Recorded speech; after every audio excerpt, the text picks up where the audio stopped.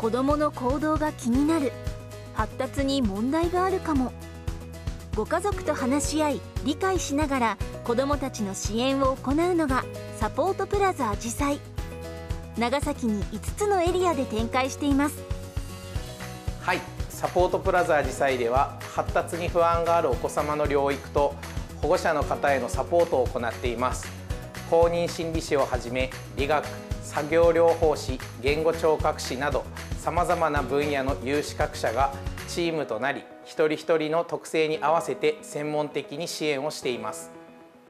サポートプラザあじさいでは多彩な資格を持ったスタッフが支援を行っています。保育士の資格を持つ飯田由衣さん。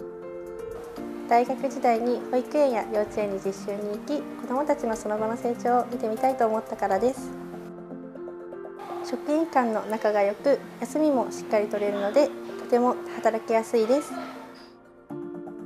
子どもたちの成長をより近くで見ることができ私自身も一緒に成長していくことができるところです。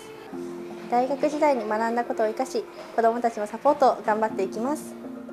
言語聴覚士の知識と技術を生かし子どもたちのサポートを行っているのが竹部真二さん。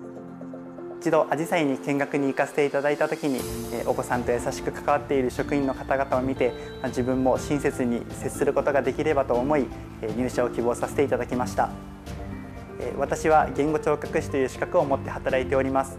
主に未就学児のお子さんに対して療育を行っているのですが言葉を聞いたり話したりするのが苦手なお子さんに対して療育を行う中で上手に話せるようになったと成長を感じられる発言をいただくことで私も働いてすごく嬉しいと思いやりがいに感じております。言語聴覚士という資格を生かして言葉で悩んでいるお子さんと関わり成長をサポートできるようなセラピストになりたいと思っています。またアジサイをご利用してくださっているお子さんに頼られるよう前向きに働くことができればと思っています。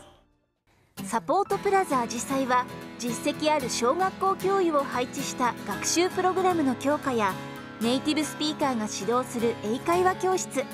言語聴覚士による言語訓練など特徴あるさまざまなプログラムを行っていて個々の可能性を引き出す指導を多岐にわたり準備しています。発達障害のお子様を正しく理解し適切なサポートをすることがとても大切です。